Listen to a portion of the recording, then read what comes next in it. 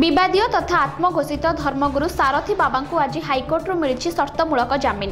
ସାରଥୀ ଓରଫ ସନ୍ତୋଷ ରାଉଳଙ୍କ ବିରୋଧରେ କ୍ରାଇମବ୍ରାଞ୍ଚ ପକ୍ଷରୁ ଦାୟର ହୋଇଥିବା ମୂଳ ମାମଲାରେ ଏହି ଜାମିନ ପ୍ରଦାନ କରିଛନ୍ତି କୋର୍ଟ।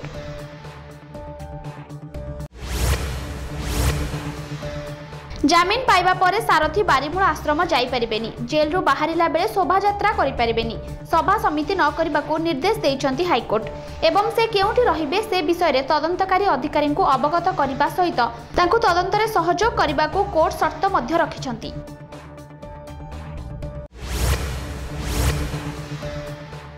জামিন মিলিবা সত্ত্বে মধ্য এবে কোর্টরু বাহারি পারিবেনি সারথী কারণ তাঙ্ক বিরোধে আউ এক মামলা বিচারাধীন রহিথিবারু তাঙ্কু আউ কিছু দিন জেল ভিতরে রহিবাকু পড়িব পূর্বরু ডাক্তারি ছাত্র মামলার সুপ্রিমকোর্ট জামিন প্রদান করেছিলেন ଦୁବାଇର ଚୌରାଶୀ ମହଲା କୋଠା ଟର୍ଚ୍ଚ ଟାୱାରରେ ଗୁରୁବାର ବିଳମ୍ବିତ ରାତିରେ ଭୟଙ୍କର ଅଗ୍ନିକାଣ୍ଡ ହୋଇଥିବା ସୂଚନା ମିଳିଛି। ବିଶ୍ୱର ସବୁଠାରୁ ଉଚ୍ଚ କୋଠାରେ ନିଆଁ ଲାଗିବା ପରେ ସ୍ଥାନୀୟ ଲୋକେ ଭୟଭୀତ ହୋଇଯାଇଥିଲେ। କୋଠାର ଚାଳିଶତମ ମହଲାରେ ନିଆଁ ଲାଗିଥିଲା।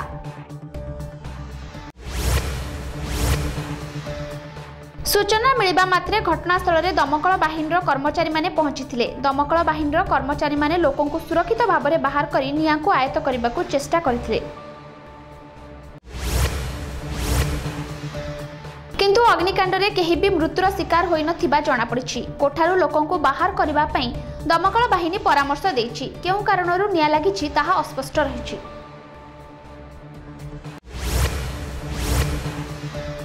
ଦୁଇ ଦିନ ହେଲାଣି ନିଖୋଜ ଥିବା ଯାଜପୁର ଜିଲ୍ଲା ଦଶରଥପୁର ବ୍ଲକ ଅନ୍ତର୍ଗତ ନିଜାମପୁର ପଞ୍ଚାୟତର ସମିତି ସଭ୍ୟ କେଦାର ଦାସଙ୍କ ମୃତଦେହ ଗୁରୁବାର ଉଦ୍ଧାର କରାଯାଇଛି। ରାଜନୈତିକ ଆକ୍ରୋଶରୁ ତାଙ୍କୁ ହତ୍ୟା କରାଯାଇଥିବା ବିଞ୍ଝାରପୁର ନିର୍ବାଚନ ମଣ୍ଡଳୀରେ ଚର୍ଚ୍ଚା ଚାଲିଛି। କେଦାର ଗତ ମଙ୍ଗଳବାର ରାତିରୁ ନିଖୋଜ ହୋଇଯାଇଥିଲେ। ବୁଧବାର ସକାଳେ ସ୍ଥାନୀୟ ବଉଳାଙ୍ଗ ସ୍ଥିତ ସାଧୁ ଗୌଡ଼େଶ୍ୱର କଲେଜ ଛକରେ ତାଙ୍କର ଏକ ମୋଟର ସାଇକେଲ ପଡ଼ିଥିବା ଦେଖିବାକୁ ମିଳିଥିଲା।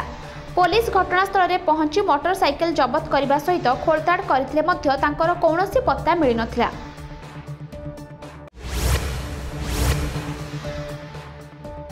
ଗୁରୁବାର ସକାଳ ସାତଟା ସମୟରେ ଯାଜପୁର ବ୍ଲକ ଅନ୍ତର୍ଗତ ଅଖା ଘରଘର ସାହି ପାଖ ବୁଢ଼ା ନଦୀରେ କେଦାରଙ୍କ ମୃତଦେହ ଭାସୁଥିବାର ଦେଖିବାକୁ ମିଳିଥିଲା।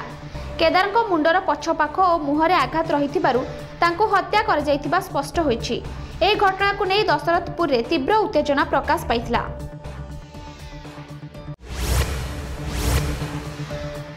କେନ୍ଦୁଝର ଜିଲ୍ଲା ସାହାରପଡ଼ା ବ୍ଲକ ଜାମୁଦାମଇ ସ୍କୁଲର ସହାୟକ ଶିକ୍ଷକ ଉମାକାନ୍ତ ମହାନ୍ତଙ୍କ ଅନ୍ୟତ୍ର ବଦଳି ହୋଇଥିବାରୁ ସ୍କୁଲ ଗେଟ୍ ସାମ୍ନାରେ ଗତକାଲିଠାରୁ ଅଭିଭାବକ ଏବଂ ଛାତ୍ରଛାତ୍ରୀମାନେ ବିକ୍ଷୋଭ ପ୍ରଦର୍ଶନ କରିଛନ୍ତି।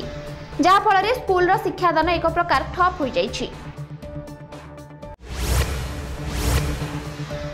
ଖବର ପାଇ ଗତକାଲି ସିଆରସିସି ବୁଝାସୁଝା କରିବାରେ ବିଫଳ ହୋଇଥିଲେ। ଆଜିକୁ ଦୁଇ ଦିନ ହେଲାଣି କୌଣସି ଅଧିକାରୀ ଆସିନଥିବାରୁ ଅସନ୍ତୋଷ ପାଇବା ସହ ତୁରନ୍ତ ବଦଳି ପ୍ରତ୍ୟାହାର କରିବାକୁ ଦାବି କରାଯାଇଛି।